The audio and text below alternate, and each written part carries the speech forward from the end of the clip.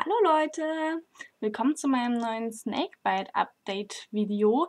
Ähm, es ist jetzt genau zwei Wochen her, dass ich diese Snakebites bekommen habe. Vielleicht habt ihr schon mein erstes ähm, Vlog dazu gesehen. Und ich habe euch ja versprochen, dass ich da immer so ein bisschen ähm, euch auf dem Laufenden halte, wie es jetzt aussieht. Und ja, ähm, ja wie man sieht, ähm, schauen die noch nicht so wirklich raus, die Stäbe. Äh, außer ich mache halt irgendwelche komischen Dinge mit meinem Mund oder so. Wenn ich zum Beispiel so mache. Wenn ich so mache halt, sieht man jetzt vielleicht auch, dass sie schon rausschauen. Und ich war letzte Woche am Montag schon beim Piercer und da hatte er mir noch gesagt, ähm, dass meine Unterlippe halt geschwollen ist und dass ich deswegen einfach wiederkommen soll, wenn das nicht mehr so ist. Ähm, ja, ich bin mir total unsicher, ähm, ob meine Lippe noch geschwollen ist oder nicht, weil es mich einfach wundert, dass die Stäbe noch nicht rausschauen. Das würde ja theoretisch bedeuten, dass meine Lippe noch geschwollen ist, sofern der Piercer eben die Stäbe in Überlänge gelassen hat, was ja eigentlich so der Standard ist. Also die Stäbe werden ja normalerweise eigentlich für die Lippe viel zu groß gelassen, damit, ähm, damit die Lippe halt Platz hat anzuschwellen.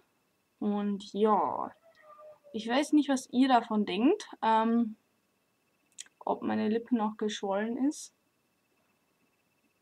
Also ich bin mir, also ich habe überhaupt keine Ahnung, weil es ist halt so, man, man ist das einfach, man gewöhnt sich einfach daran, wie das dann aussieht und dann kann man das eben selber gar nicht mehr einschätzen.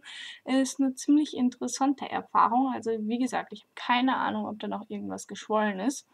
Und ja, aber ich weiß auch nicht, ob man da irgendwas kürzen kann, wenn die eben so jetzt nicht rausschauen, sondern nur, wenn ich halt also, wenn ich irgendwie komisch lächle oder so. So, in der Art. ähm, dann äh, gucken die halt auch raus. Ähm, ich weiß nicht, ob ein paar von euch, vielleicht haben ein paar Leute von euch ja schon äh, Snakebed. Ist das bei euch normal, dass sie so extrem rausschauen, wenn ihr irgendwie lächelt oder eine Grimasse zieht? Oder sind die dann bei euch immer noch irgendwie so genau an der Haut sozusagen. Äh, ich bin mir, wie gesagt, total unsicher. Ähm, ja, ich hatte euch ja letzte Woche auch erzählt, dass ähm, ich überhaupt kein Eiter oder sowas hatte. Äh, also, dass es überhaupt nicht entzündet war. Jetzt mittlerweile habe ich das so ein bisschen gesehen, dass ich um die um die Einstichstellen halt so manchmal so eine ganz kleine, äh, ja, so ein ganz kleiner Eiterring sozusagen bildet.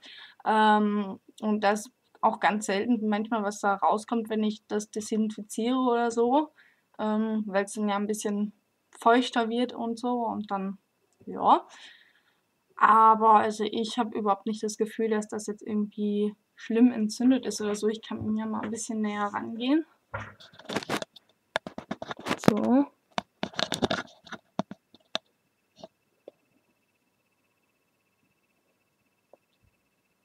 Ja, also ich finde, das, sieht jetzt eigentlich nicht so schlimm aus. Ähm, ja. Ähm, das war es eigentlich auch schon mit meinem kleinen Update. Das nächste werde ich dann machen, wenn ich mal wieder beim Piercer war und von ihm dann mehr erfahren habe. Aber wie gesagt, ich bin mir noch total unsicher, wann ich jetzt da überhaupt hingehen soll. Äh, weil ich nicht weiß, woran ich jetzt erkennen soll, ob meine Snakebites schon abgeschwollen sind, also die, ob meine Unterlippe schon abgeschwollen ist oder nicht. Ähm, deswegen würde ich mich auch sehr darüber freuen, wenn ihr mir da eure Meinung wieder mal dazu sagt, weil, ähm, ja, vielleicht sieht das für euch ja total geschwollen aus. Ähm, äh, Schreibt es mir einfach in die Kommentarbox, würde mich sehr freuen.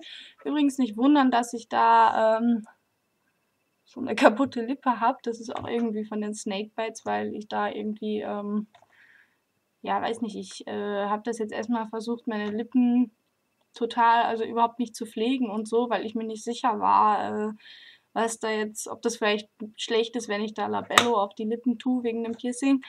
Und ja, deswegen sehen die jetzt so aus, wie sie aussehen. Aber egal. Ähm, ja, also danke fürs Zuschauen dann. Ähm, das nächste Vlog wird folgen in unbekannter Zeit.